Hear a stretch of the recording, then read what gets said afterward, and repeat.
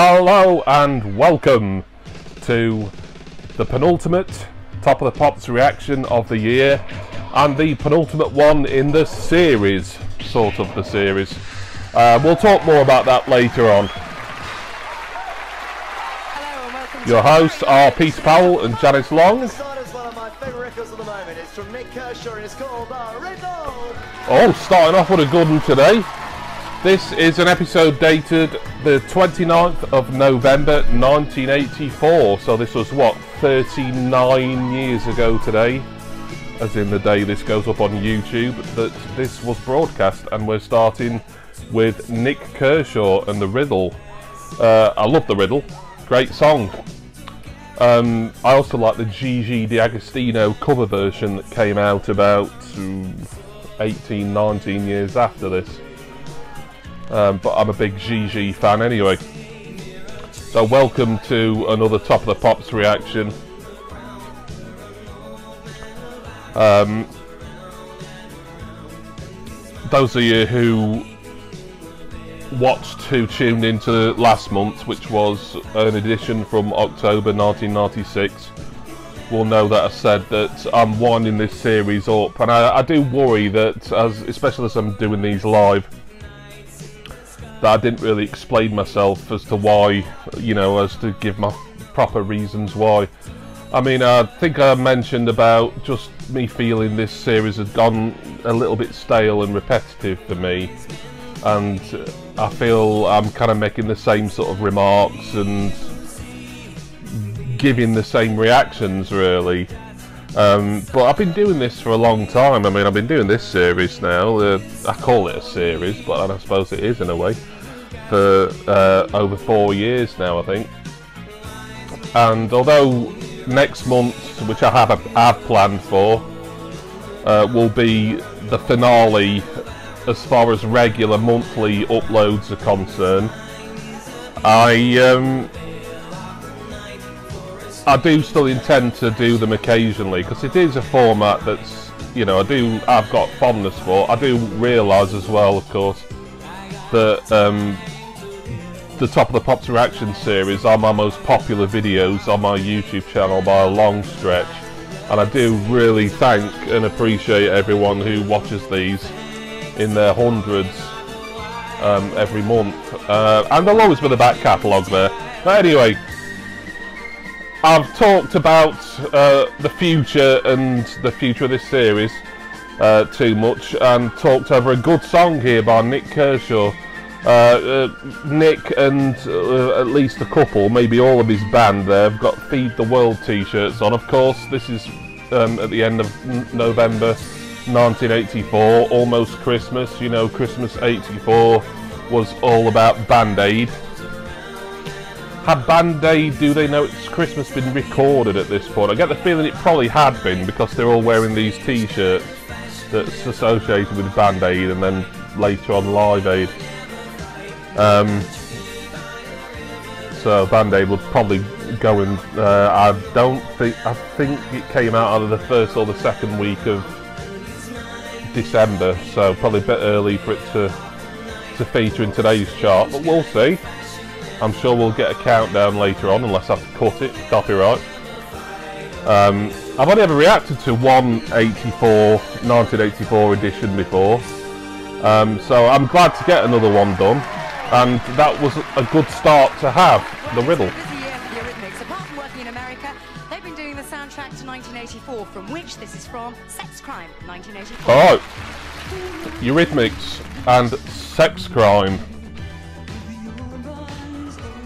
From the film 1984, apparently this is at number 6. I'm assuming um, it's not a new entry. No, I think it would have said if it was. Um, so uh, this was from the soundtrack to the film 1984, which was based on the George Orwell novel. Uh, not a book I've read. I know it's quite kind of a. It's one of those sort of. You know, when you get like your lists of hundred books you must read in your life. I think 1984 is the is one of the ones that's always in those sort of lists. It's like a kind of important bit of literature, but um, I suppose quite appropriate for a film adaptation of the book to come out in the year 1984. Obviously, the book was written many decades prior. I'm not sure if it was all well, I'm assuming it might have been sort of 40s or 50s, but um, I don't know. I would say I'd put some info in the ticker bar, but um, and I might do for it, but because uh, I've probably said all I really need to say about the Eurythmics themselves uh, in previous uh, previous uh, Top of Pops reactions. I do remember this kind of, uh, as in the song. I've never seen the film, never read the book. Uh, I don't know if the film got very good reviews, really. I don't know. It's not one that uh, it looks kind of big budget for its time, and you know, I dare say it was well hyped, but I'm not sure. I don't know. I don't think it's a film that people kind of look back on and say, "Oh yeah, that's a classic of its genre." I mean, it'll be some sort of dystopian sort of alternate reality kind of thing, because uh, you know, to the best of my knowledge, that was what All Orwell's 1984 was really. Um, but Eurythmics, I've never been a massive fan. I've talked about them not only in Top of the Pops reactions, but also in other videos, and uh, just just a duo and act I couldn't fully get into into to be honest. Uh, the video was alright, that was suppose a good promo for the film. Yeah, nothing wrong with that. Relates to uh, and the song has been released for Christmas and also to help the famine in Ethiopia. We all wish them a lot of luck with that single. I hope it's a massive hit. Talking about hits, they're back in the charts. They are every Christmas. Slade and all join hands. So yeah, I mentioned Band Aid there. So yeah, it sounds like it's been recorded. I know it was rush released, and um, it's probably going to be in next week's chart by the sound of it and straight in at number one, I would have thought. Anyway, number 15, All Join Hands from Slade. Another band who I feel I've uh, reacted to uh, at least a couple of occasions. Kind of feel like I'm looking back at old reactions when my memory allows me to. But um, this was obviously Slade's maybe not official, but they're kind of, you know, let's have a sort of outside stab at the um, Christmas number one for 84, because they were unlucky not to get it in 83. Although Only You by Flying Pickets, which stopped My Oh My from getting to number one at Christmas 83. I mean, that was massive um, for the Flying Pickets. But Slade, I think they had three weeks at number two, so, you know, it was probably close running. Um, during at least one or two weeks in December. Um, I do like this song by Slade actually. Um, it's weird, I seem to enjoy some of Slade's later stuff more than the kind of glam stomping 70s heyday to be honest. This has got a very sort of um, could be a football terrace anthem sort of feel to it and uh, the fact that people are holding up Slade scarves in the crowd is uh, the crowd, the audience, is um, is give it any scarf. Well, no, I think they're just banners really, but you know, in the shape of the scarf, scarf shape. Yeah, um, it's been a decent edition so far. I know we're only three songs in, uh, but Nik Kershaw always loved the riddle. Eurythmic Sex Crime I think that's probably one of their stronger singles actually. I would go as far as say I liked it without loving it. And this is one of my favourite Slade singles. It's not My Oh My, this one. Um, it, nothing is for me. I just love My Oh My. I think it's brilliant. Um, but I do like this. I do like All Join Hands. Um, so I have no complaints from having almost randomly chosen this episode. I did want to do another one from 84 and with the me only doing November and December as part of the regular monthly um, reactions then you know really it would have to be one week in November that I chose and you know this one uh, just came up and I thought why not and so far I've not been disappointed with my choice but I don't really know what's coming I kind of get the feeling I should know vaguely some of the stuff that might be in the chart around this point at the end of 84.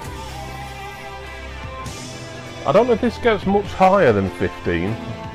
I've got a feeling this might be its peak position. I mean, this is a, a shame. Uh, if it didn't get top 10, um, I think that's a pity because it, it deserved to. I mean, it was never going to be Christmas number one. Um, you know, there was some big singles coming out Christmas 84, like Frankie Goes to Hollywood, Power of Love, Wham! Last Christmas. Um,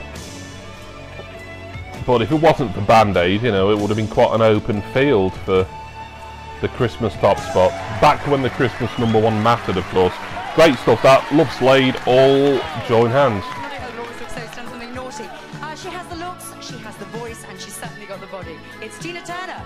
Dancer. Alright, so at number 31 is the late Tina Turner and Private Dancer.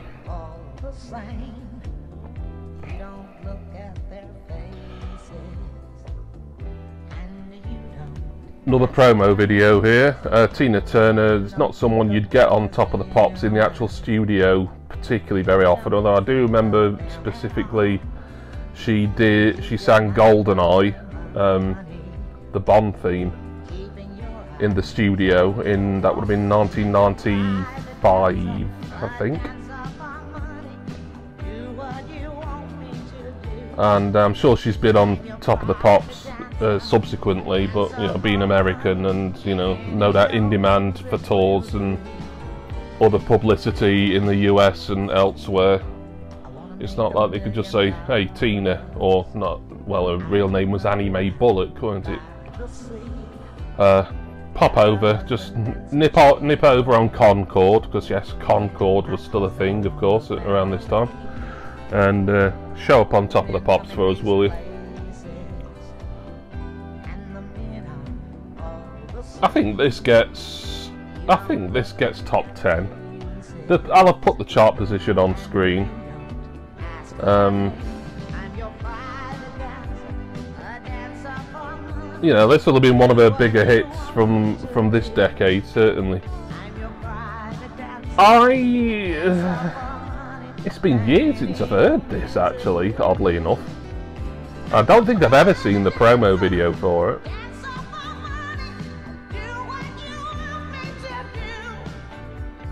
Yeah, I, I quite like it. It's all right.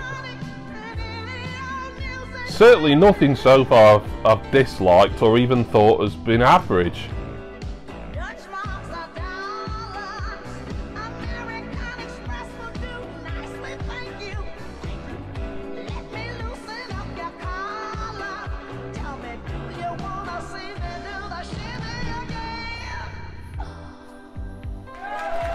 There we go, that was Private Dancer from Tina Turner.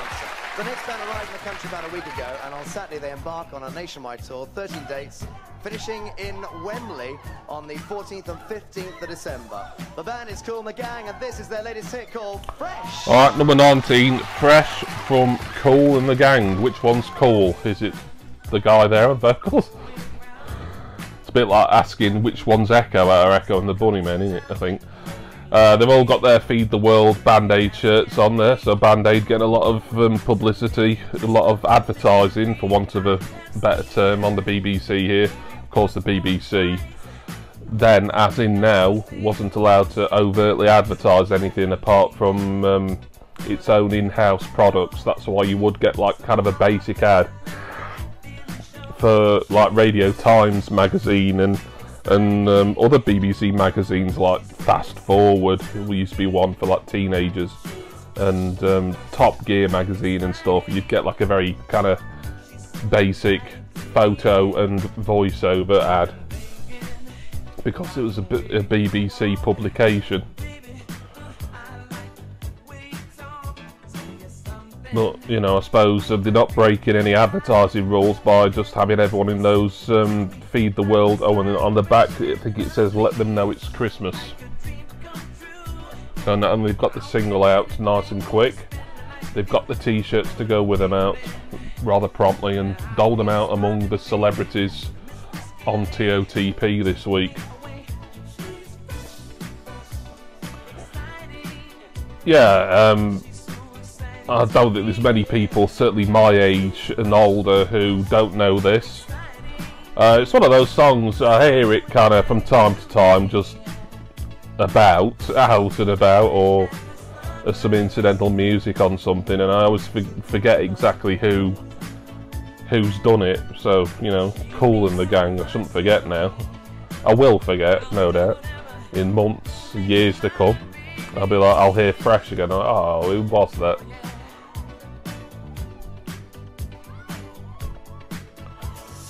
This is decent enough. Again, I'm really enjoying this edition. Um, not my usual cup of tea, something like this, but it's, it's a good it's a good mid 80s pop song. Let's be honest. And uh, as I say, I think Nik Kershaw and Slade have been the highlights for me so far. So we'll take some to beat them, but uh, we'll see, shall we?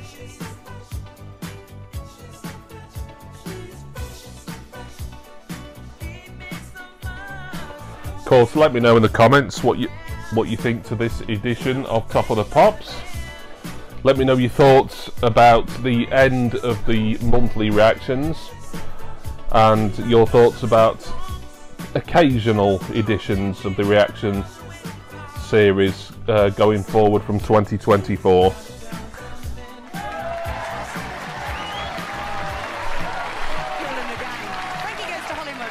well pleased this year. Two number oh. one singles, a number one album, and this could do the same. This is them and the power. Oh, love it. Yeah, um, it's another promo video. quite promo heavy this edition, surprisingly. Um, I'd have thought they will go in the top of the pop studio at some point in December. Um, it's at number three. It does get to number one, but it only has a week at number one as um, Band Aid uh, goes straight in the week, out, week after. So, yeah, actually, so next week's chart, I would have thought this will be the, at number one first week of December, and then that'll be when Band Aid's been out, and then the week after, yeah. I think I've got my late 1984 timeline. It's sorted in my head now. It's all easy to look up anyway.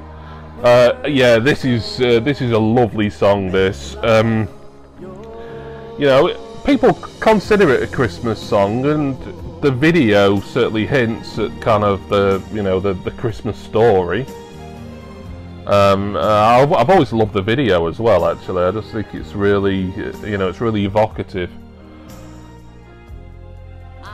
And Frankie, I mean, they were the band of '84. I mean, relax. It was incredible just how that hung around the chart so long. Then we had two tribes that spent I don't know, was it only daft like about nine weeks at number one? and Relax was still, you know, hanging around as well. And then Power of Love, um, whether it would have stayed, I don't think this would have been the Christmas number one had there been no Band Aid. Because don't forget, Wham was coming out a few weeks later in December with Last Christmas, and that would have, have been a, a dead cert for the actual Christmas number one. So I don't think Frankie would have made it that long, but um, did, did get number one with this, and well deserved, because this is my favourite Frankie single by a long stretch. And I love Two Tribes, I like Relax. Welcome to the Pleasure Dome, which was the final single off the album of the same name. Uh, not so keen on. And uh, the couple that remember off their second and final album, Liverpool, I think that was called, um, were a bit patchy, a bit average. But yeah, um, always gives me a nice warm feeling um, whenever I hear this. You know, making me feel all Christmassy right now. Which is a bit weird because I'm filming this quite a way in advance and it's not near Christmas yet at all, but it's still still giving me that nice festive kind of vibe.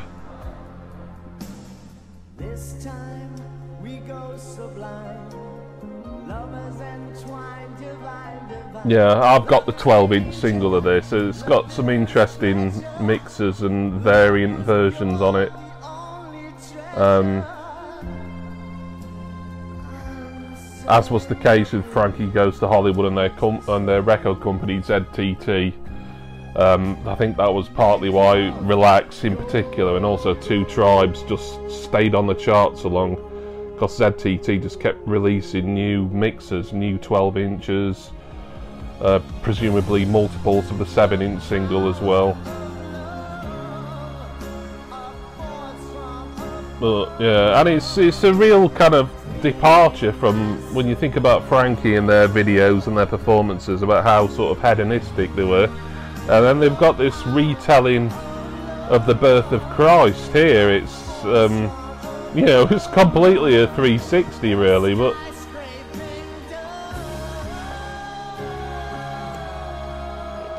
Three wise men there. Yeah, um, this is rapidly becoming one of my favourite reactions just for the quality of the music we've had. I mean, I knew 84 had some strong stuff in the chart that year, but um, we're hearing, you know, as far as I'm concerned, we've heard three excellent singles, and this one, um, Power of Love, Frankie, yeah, fantastic. Uh, one of my all-time favourite singles, this, and certainly up there as possibly my favourite Christmas-related single. Even though the lyrics aren't necessarily that Christmassy, the video certainly is. Brilliant. Gets out of that easy enough. right, here's the charts. Alright, a first look at the charts, and it is the top 40 today. I'm a fan of that. We'll stand together. Sister Sledge at 38. 37, a new entry, the medal song from Culture Club. Eugene Wilde got to get you home tonight at 36. And Big Country, a new entry at 35, Where the Rose is Sown. Julian Lennon, Too Late for Goodbyes at 34. And Moroder and Oakey together in Another good song. 33. Blasphemous Rumours from Depeche And another good one. Good stuff in this chart. 31, Private Dancer. Ultravox and Love's Great Adventure at 30. I like that as well, Love's Great Adventure. Lonely Nights, 29. Oh, Paul McCartney getting two in the top 40. I to Say I Love You, Stevie Wonder. Former number one there, Stevie Wonder. This is Madonna, Like a Virgin. Alright, Madonna, Like a Virgin, is up at 27, I think. Right, um, I'm always a bit loath. I've, I've said this before, and, sometimes it works out, and sometimes it doesn't, but I'm always worried that I'm just having to cut Madonna out. Because um, her publishers and record label and everything are just really gung-ho. You know, I'm not pirating YouTube and publishers and record companies. I'm reacting, I'm talking over it. If I was pirating, I'd be shutting up now, wouldn't I? like a Virgin, of course, from the album of the same name. Not a not a Madonna single that I would rank as kind of elite tier, but it's a good one. So, still on a great run, really, in this edition of Top of the Pops. Nothing that I've found below good yet.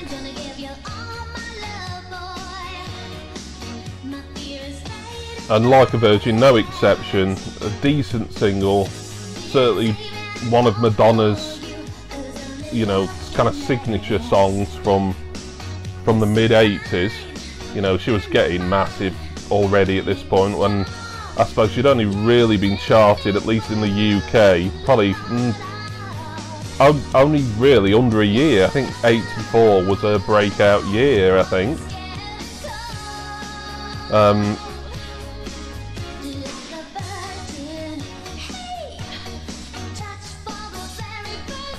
trying to think um, like a virgin album. I'll put, I'll put it on screen but um, I don't know if that came out in the UK anyway in late 84 or early 85 because I think her first album while it was probably a 1983 release in the US I'm fairly sure that would have come out over here or Europe in 84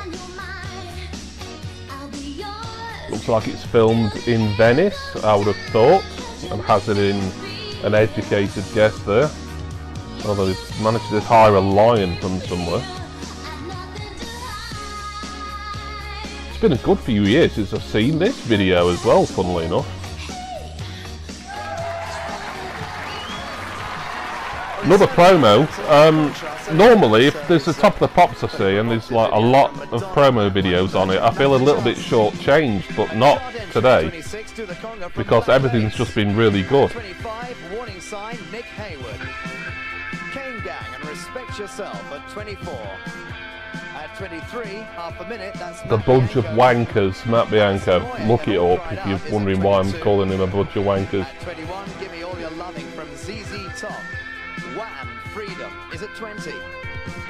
At 19, Fresh from Kool on the Gang. Status Quo, The Wonder is at 18. At 17, One Night in Bangkok from Murray Head. The Pointer Sisters, I'm so excited, is at 16. At 15, All Join Hands from Love it. Human League and Louise at Mhm. 14. Pretty good single from Human League, Louise. Not my very favourite by them, but decent enough.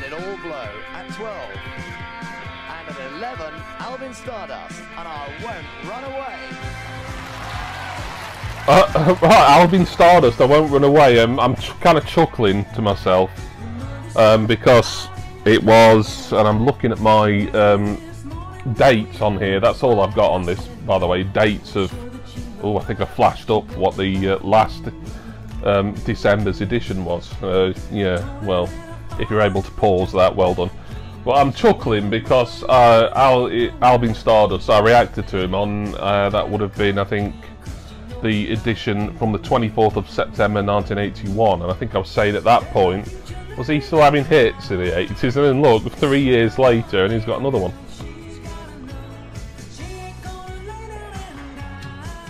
He, um, you know, it's weird. My my earliest memory of Alvin Stardust was him being a kids' TV host. It's weird how some things just kind of stick with you.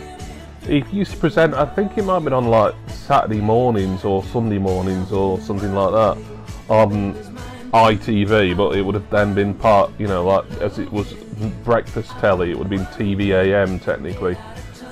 Uh, he presented like some kids thing where he'd like do links and possibly read stories. I don't know if he sung on it. He might have done, but I don't recall. And then the, it showed they showed cartoons and kids shows in between. You know the sort of thing.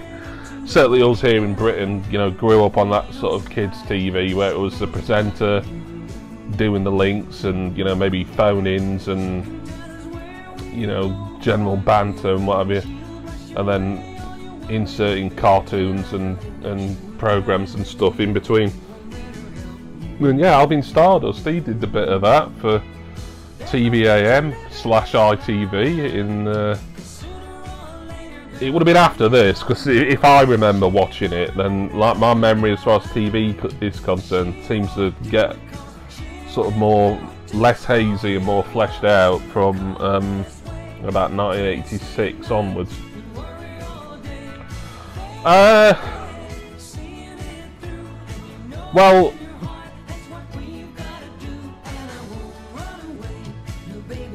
can't, you know, I, am trying to say something negative about this, but the thing is, it's, uh, it's kind of growing on me. I'm sure it's not unfair to say this is probably the least good thing that's been on so far, but I do still quite like this. It's weird, I don't know, I must be in an exceptionally good mood today.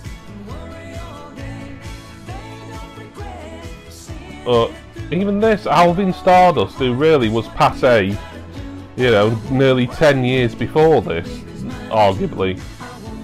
I mean, he'd, he'd, uh, he'd started recording as Shane Fenton in the 1960s, so you know, he was a, he was a veritable veteran of the music industry by this point, you know, 20 plus years probably. I don't know, just as kind of like a lightweight pop song, I kind of I kind of like that. I would even go far to I probably liked it a bit more than um, I won't run away. Alvin Stardust than was Eurythmics and Tina Turner. 10 selling singles this week. Here we go, top 10.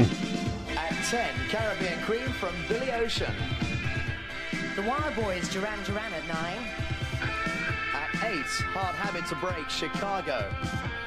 Shaking Stevens at 7 with Teardrops. At 6, Sex Crime, 1984, The Eurythmics. At 5, The Never Ending Story from Limahl. Good song, never ending At story. 4, Nik Kershaw, Great stuff. The Riddle. Riddle. The highest new Brilliant. entry number three, Frankie Goes Certainly my highlight. of Power of Love, love it. Chaka Khan, and I Right, so what is at number one? Which means there is a new Ooh. number one. And it is Jim Diamond, and I should have known better. Right, okay. Jim Diamond is your number one for the week of uh, 29th of November, nearly said 26th then, with 1984 with I Should Have Known Better. Now then,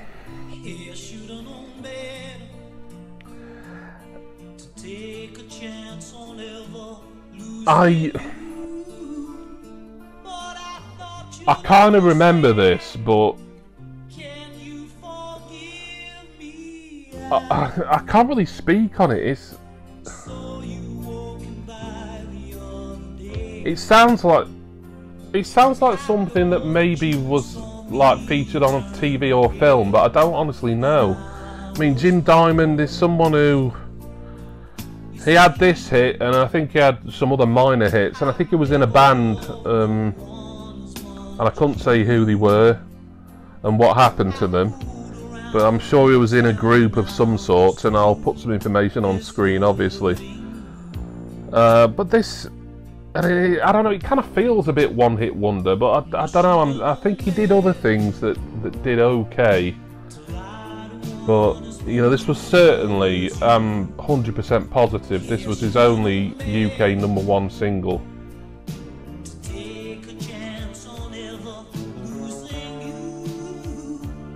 You know, ironically, it being number one, uh, this is probably uh, this is probably the, the song I would say I don't particularly like. The the one that we've seen in this edition.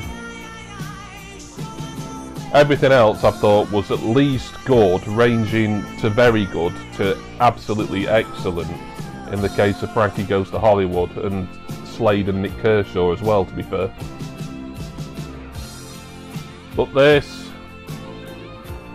you know, it's not dreadful, but it's it's kind of a little bit too easy listening for me. It's, he don't he don't look much like a pop star, does he, Jim Diamond? He kind of looks like a a sort of like if you if you'd ordered a Jimmy Somerville from um, the Wix catalogue.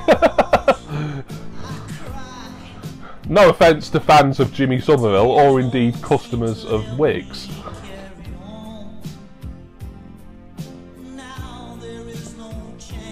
I'm pretty certain this is its one week at number one because, as you saw, Frankie Goes to Hollywood was a high new entry for it being 1984 at number three, and um, they have to have their week at number one before Band Band Aid uh, dominate the rest of uh, the month of December.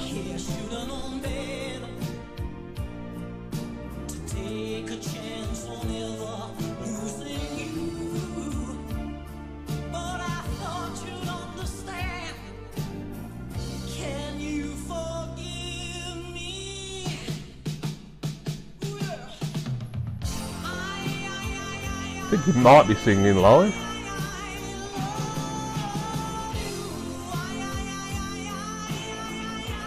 Yeah.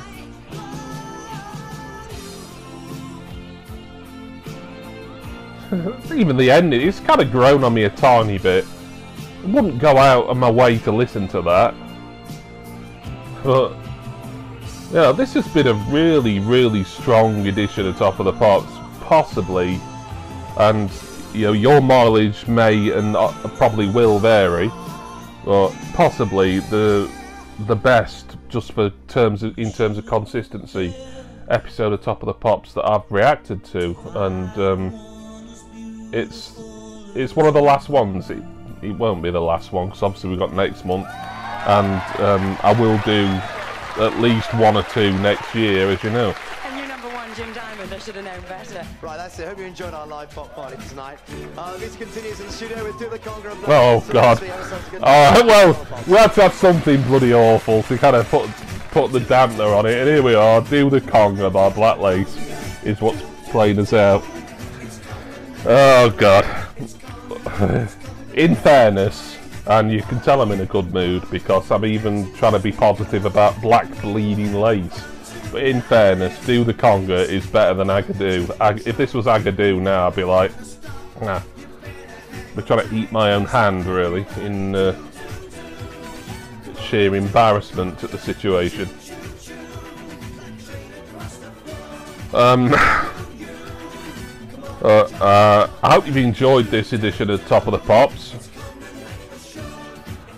And uh, again, I said it earlier, but I do want to say a big thank you to everyone who supported this series over the years, really. Um, or if you've only been watching these reactions for a short time, you know, however long you've been part of part of the club, I appreciate you a lot.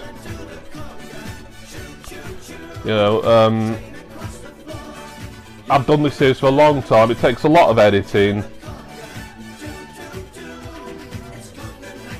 One a month. I did do two a month for a little while, and it was too much, really. Um, but one a month. I've I've been through almost all the years that I really can and want to cover. Uh, certain years I wanted to cover again, like 1984. I'd only done that once before.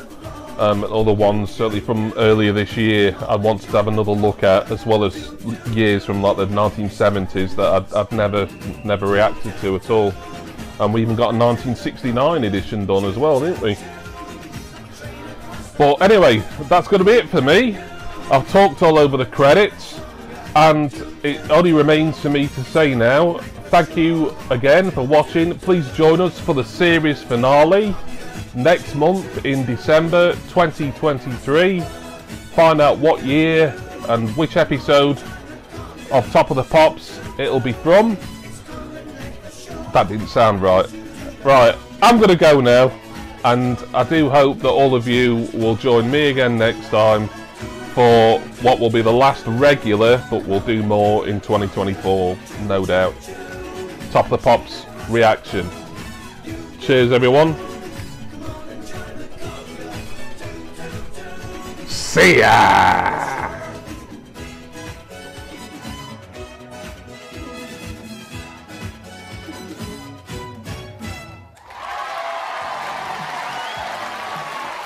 Thank you.